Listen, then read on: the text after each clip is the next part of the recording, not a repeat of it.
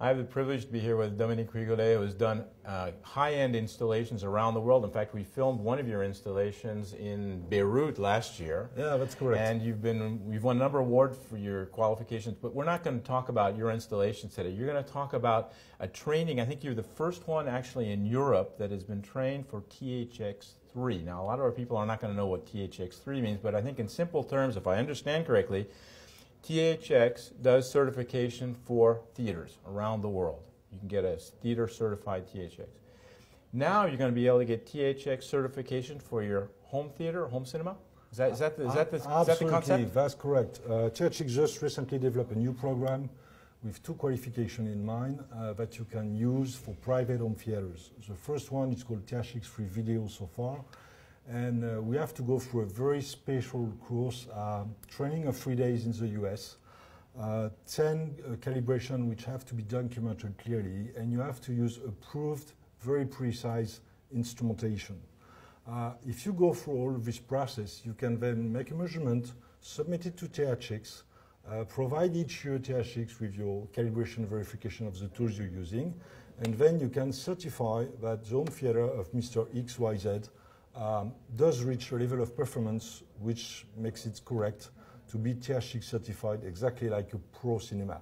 So this is brand new, and I know that THX is also preparing the same thing for sound, so we're in it. Okay, but that means in, in the, the, the, home theater, like a theater out in High Street, okay, will be certified THX with this calibration, and that calibration has to go to THX. It has to be qualified? Absolutely, and then THX provides with a plaque which gives the date, who has calibrated it, and uh, keeps the record of the calibration, and then give a suggested date for recalibration because, uh, mm, as you can imagine, after one year and a half, two years of usage, things can vary a little bit, so you need to recalibrate. So basically, that's the concept. That's brand new and that's very professional and I think it's, uh, it's definitely an asset for the high-end so you went and did that training in the U.S. Basically what you were saying before, for those who want to do that training, it, it's a three-day session. It costs about $3,000 U.S. dollars, That's if correct. I understand correctly. And you have to submit, once you've done the training, uh, 10 different calibrations uh, be, to get your... Before that, you need to, to pass an exam. Uh, and you have to reach a minimum score. Otherwise, you're not in. And when you've done that, you've got it in 10 calibration, which can be okay. verified, which should be documented in detail.